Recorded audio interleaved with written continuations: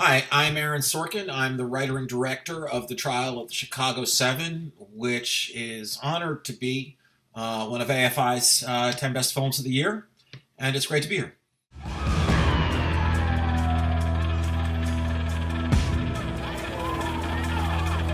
This is the first riot sequence. This was one of our challenges, these riot scenes, which are basically battle scenes, because we had to do them on a budget. And anytime you're doing something out of budgetary necessity, you want it to look like this is what you would have done if you'd had an unlimited budget. And I think that we did that. The we that I'm talking about, Faden Papa Michael, our DP, Alan Baumgarten, our editor. First of all, we wanted to come at you from 10 different directions at 100 miles an hour. So there are multiple narrators, whether it's witnesses on the witness stand, Abbie doing his stand up, if you will, or the actual action itself.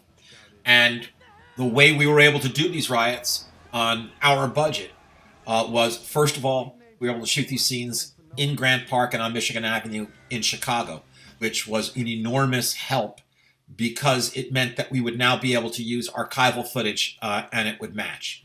So I got a bunch of wide shots using smoke from the tear gas to kind of disguise the fact that there weren't as many extras as we were pretending uh, that there were.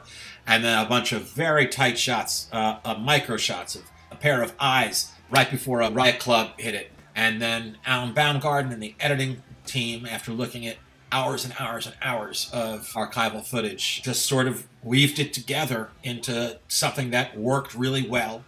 Finally, with an assist from Daniel Pemberton, our composer. Put the flag down!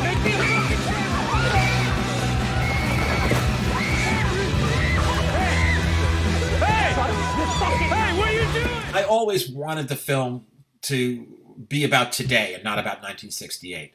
I had no idea how much about today it was going to end up being. Donald Trump was elected president. Even before he was elected president, he had these rallies where there'd be a protester and he'd start to get nostalgic about the old days when they'd carry that guy out of here on a stretcher and I'd like to beat the crap out of him. And all of us thought that the film was plenty relevant last winter when we were making it. We didn't need it to get more relevant, but it did, obviously, in May with the killing of George Floyd, Breonna Taylor, Ahmaud Arbery.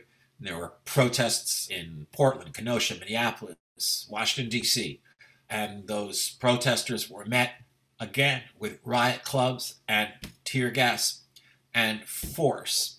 And as if that weren't enough, on January 6th, uh, Donald Trump stood up at a microphone and did exactly what the Chicago Seven were on trial for doing. I've been asked a lot uh, since since the film was released if I made any changes to mirror events in, in the world, and the answer is no, I, I didn't. Uh, events in the world changed to mirror what was going on in the film.